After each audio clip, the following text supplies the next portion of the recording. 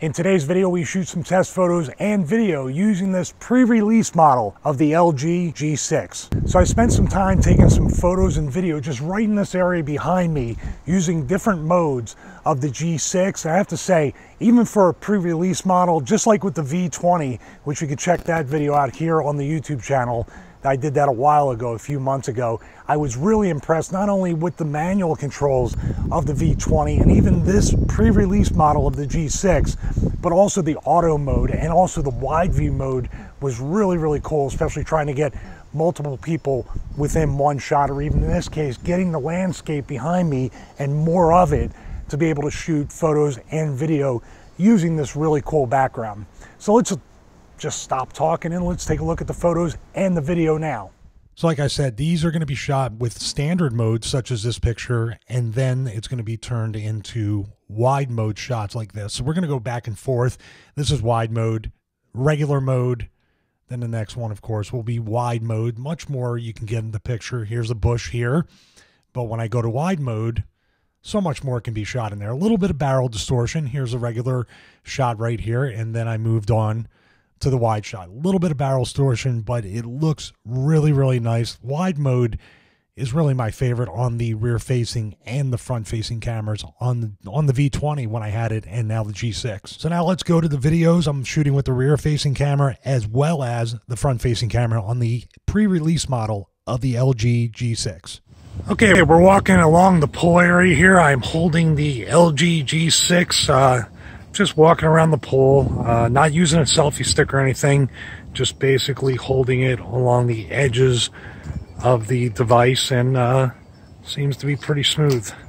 Now I'm walking along the same path here and the uh, G6 video is set in the uh, wide view mode, super view mode I believe it's called, not sure if they renamed it or not, but get a lot more in the shot, obviously, and sometimes the colors seem a little punched, uh, a little more saturated.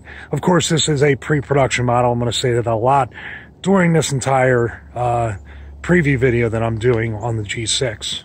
Now we are shooting video in uh, the standard uh, view mode. This is the uh, selfie part, the front-facing camera part of the LG G6. Now we're shooting some test footage uh, on the front-facing camera using the wide view mode on the LG G6. Um, I didn't do anything manual on this as far as audio. This does have the same manual audio controls as the V20 when you put the video in manual mode. So we're going to shoot some of that stuff as we're recording the front uh, or the rear facing camera, not the this is the front. Going to shoot the rear facing camera as we walk and switch the mics on the G6. So now we're shooting in manual video mode and what we're going to do here is first of all just mess around with the white balance. I can go auto and just click on the screen for auto or I hit it and then there is a, a dial where it will let me change the white balance. As you can see it changing here. And the live view on is really good and like I said it's a pre-production model but you can see here and then I can just click on auto and it comes back um, now, as far as ISO, same thing. I can really turn it up and really turn it down or click on actually defaults on 50 um, there's other ones too but I'm gonna go with the basically the audio here. And what I'm gonna do uh, there's a gain which I'm gonna turn the gain all the way up and I'm going to bring the gain back down to about unity. And then the middle part here, I'm going to bring it up to 150 hertz and then shut it off.